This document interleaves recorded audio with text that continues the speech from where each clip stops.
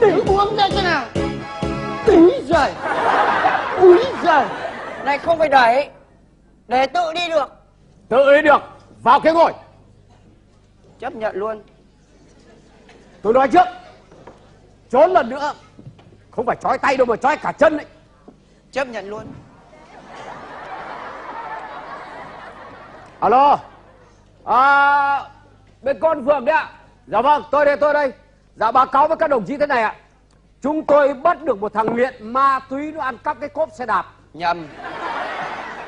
Cốp xe máy. Trật tự Vâng vâng. À, cái cốp xe máy đồng chí ạ. À, Vâng các đồng chí ở trong phòng à, đi à, trực à, phường hết cả rồi. Vâng các đồng chí sang giải ngay hộ cho chúng tôi nhá. Vâng cảm ơn cảm ơn. Công nhận thì chú chạy nhanh thật đấy. Cháu lao vun vút một chú phóng có vèo vèo Này Sáng nào cũng hai vòng bờ hồ đấy. Ui ơi Bà xã nhà tôi không ngăn cản á Chạy việc dã dứt khoát được giải. Ui giời ơi. Cháu hỏi ký không phải năm nay chú bao nhiêu tuổi ạ? À mới có 65 thôi. Sáu năm mà cháu phải gọi bằng bác ấy. À bác hay Ê, chú bác ơi. Cái gì? Ê, năm nay bác 65 tuổi mà sáng nào cũng chạy hai vòng bờ hồ Có khi bác phải tuổi trâu tuổi bò. Này Cậu định nói đều tôi đấy phải không? Cháu làm sao dám nói đều bác ạ Nhưng mà cháu muốn nói một bác một điều này này. Chạy thể dục buổi sáng chưa chắc đã tốt đâu. Người ta nói rồi Què chân bóng đá tóp má điền kinh chết bất thình lình thể dục buổi sáng. Rồi không yêu thuyền nữa. Khai ra. Tên gì? Ôi bác hỏi tên cháu làm cái gì? Ôi, đây là quy định của phường. Tên gì? Tên gì? Này Cậu đùa với tôi đi à? Tên gì? Tên gì Nghiêm chỉnh nhá. Tên gì? Không tôi bảo bác nhá. buồn cười nhỉ Cháu tên là gì thì cháu bảo cháu tên là gì. Nói thế mà không hiểu. Chạy thì nhanh nhưng mà máu lên não chậm lên. Tức là cậu tên gì đi? Vâng. Họ. Họ văn gì? Họ văn gì? Họ và tên bố mẹ. Họ và tên bố mẹ từ rồi. Từ là từ thế nào? Từ là từ bỏ rồi. Không chịu được thằng con trai như thế này là họp gia đình Họp họ hàng lôi nhau ra phường Đóng xấu phịch một phát Cháu trở thành đời cô liệu Bởi vì ông con quý tử mang hết đồ đạc đổi thành ma túy để hút hít chứ gì. Cháu có mang đâu Cháu vác đấy chứ. Xin tử tế cho thì cháu mang Không cho cháu vác qua cửa sổ luôn. Thôi được rồi. Nhà đâu? Đã là thằng đàn ông sống không cần nhà mà vẫn sống. Có phải không ạ Đội trời đạp đất ở đời Vai năm tấc rộng thân 10 thước cao Từ hải chuyện kiều của Nguyễn Du trang 61 Thôi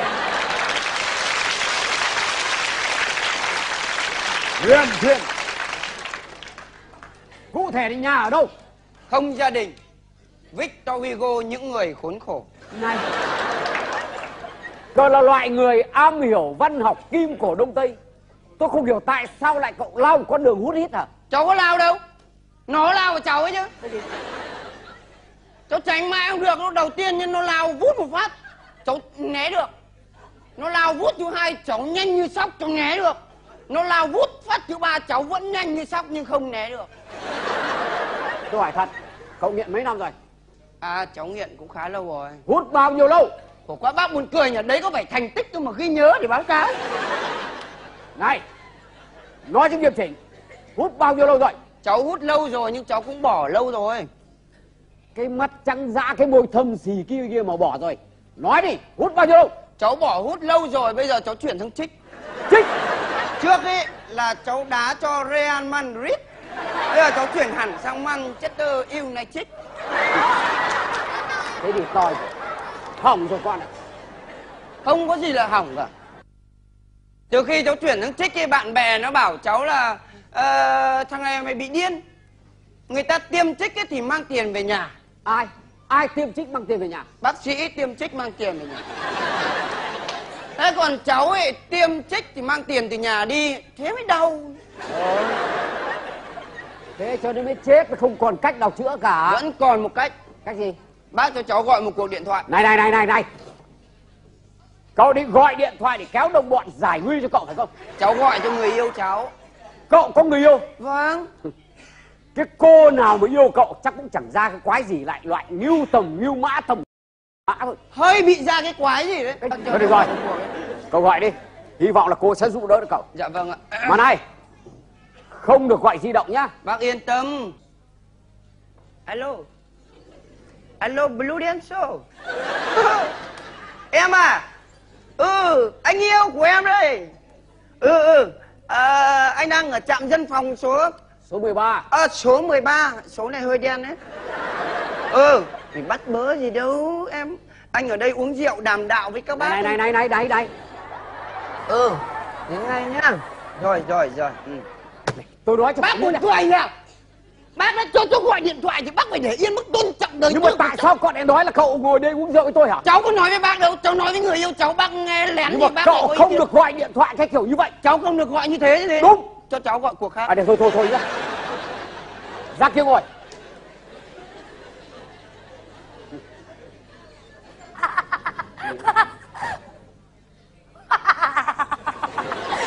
Đến lâu chưa? ôi này các bác ạ người yêu em bị bệnh hà hà.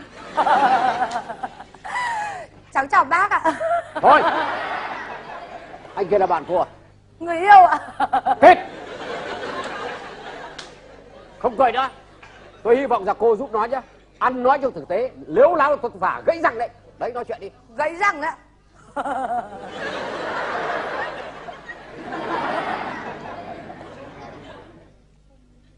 nhìn gì? Quân thùng đít à? Không Hứa đưa đi chơi chả tìm thấy đi tìm. Đi uống rượu. Được hớp nào đâu. Bị tát cho hai phát suýt chết. Cứ đùa. Thôi không đùa. Làm sao đấy? bị trói ấy. Làm sao chói? bị bắt ấy. Ai bắt? hói bắt. Tội gì? vạch cốp xe máy nhưng không thành. Sao?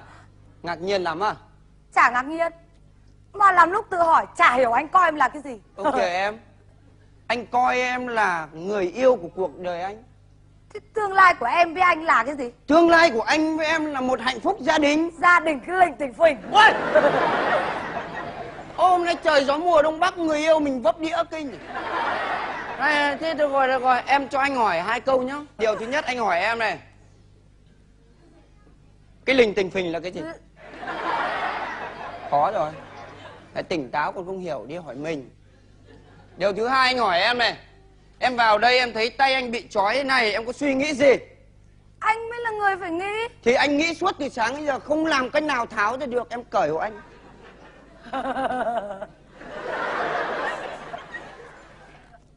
Rồi. Thứ ba anh mới bổ sung. Ê, bổ sung. À câu này khó đấy. Nói các bác câu này trí tuệ đấy câu này phải có học thì mới hiểu được câu này em em hỏi một câu khó. Nghe. Do you love me forget me not em có yêu anh không?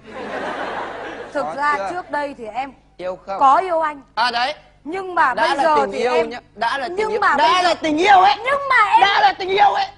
Thì phải biết chấp nhận thương đau.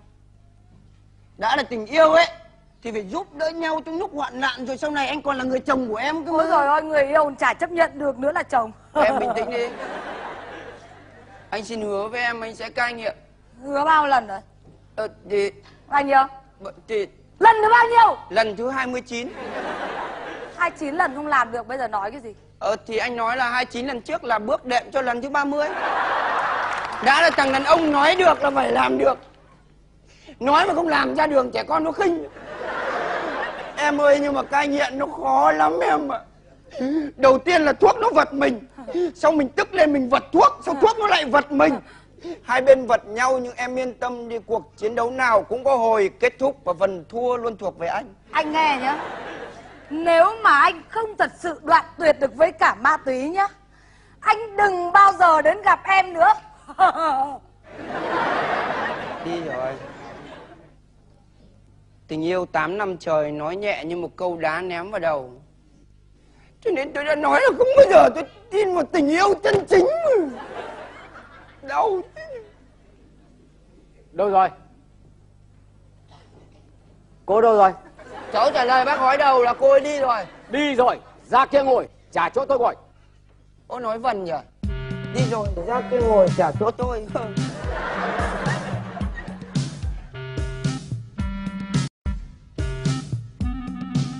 alo vâng anh trường đấy ạ. Vâng tôi đây.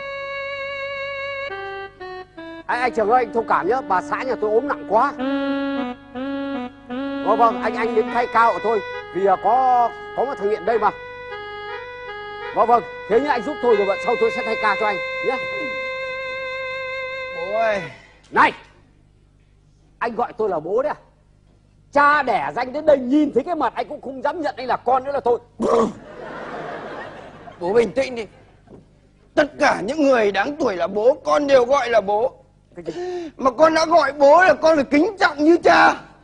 Mà đã là cha thì con phải bố ơi bố giúp con đi bố con đang vật tung người rồi thế này bố ơi. Anh có vật vã tung lên đấy tôi không biết không có liên quan gì đến tôi nhá. Đã là con người thì phải biết giúp đỡ nhau trong lúc gặp khó khăn lá rách ít đùm lá rách nhiều để cả hai cùng rách trung bình. Bố ơi cái lúc con bị bắt đi các anh ấy cất của con một ít bố giúp con đi bố. Bố giúp tôi tôi không giúp anh được. Anh định định anh định là tôi là tòng phạm anh. Liên quan bọn ma túy à? Này anh có coi tôi là thằng trẻ con nhá. Không bao giờ con coi bố là trẻ con. Nói người ta cũng không tin. Trẻ con gì mà đầu hói đấy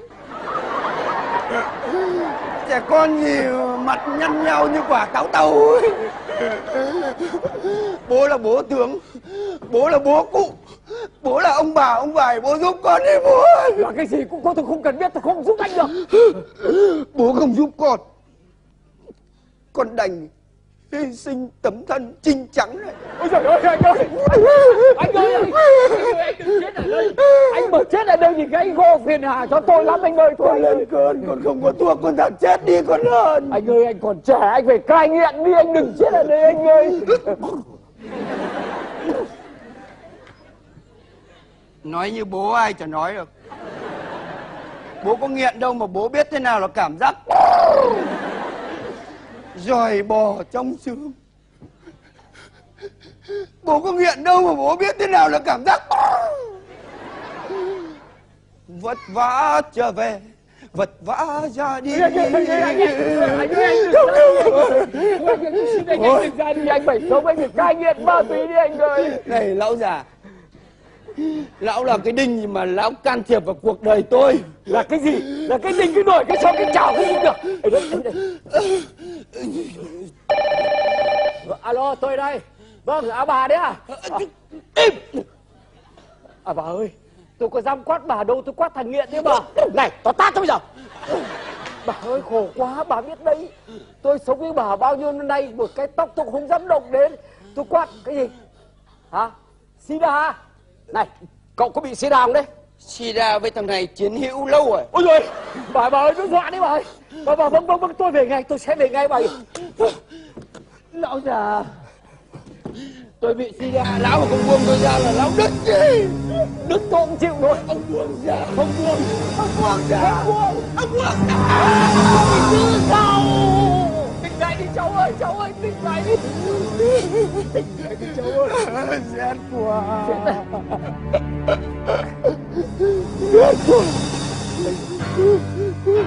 cháu ơi. Ngồi- dậy ngồi lên trên ghế đi nằm trên sàn đá đi lạnh lắm cháu ạ. Ngồi đi. Đau quá. Đau đâu? Đau đâu? Đau ở đâu? Khắp nơi. Khắp nơi à? Đau quá. Đấy cháu thấy không? Nghiện ma túy nó khổ như thế đấy. Mày xem mới có hai mươi mấy tuổi đầu mà như ông bác họ tao ấy. Con cảm ơn ông gọi là lão già nữa đi. Con lấy con lên cơn. Con gọi bố là lão già. Bây giờ con tỉnh rồi con gọi bố là lão bố. Bố cứ ôm chắc lấy con. Thế bố không sợ bị sida à? thật ra tôi cũng sợ lắm. Nhưng nghĩ cậu như con tôi tôi không bỏ được. Bố yên tâm. Sao? Con không bị sida đâu. Cái gì? Cậu không bị sida thật chứ chịu khó ngồi đây một tí để tôi báo cho bà mừng nhá, alo bà đấy à? Bà ơi tôi báo một tin vui nhá. Nó không bị xí đá đâu. Ai đấy? Chị an nhá. Sao?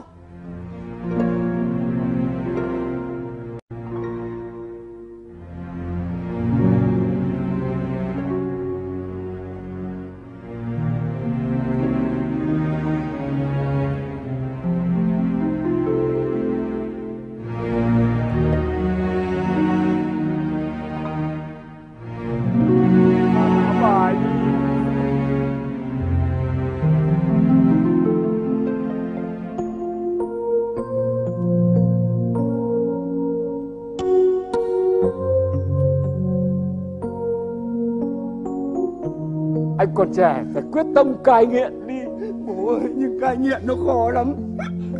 Mọi người phải giúp đỡ con, mọi người đừng rời xa con cơ. mọi người không bỏ con bố không bỏ con đâu Bố!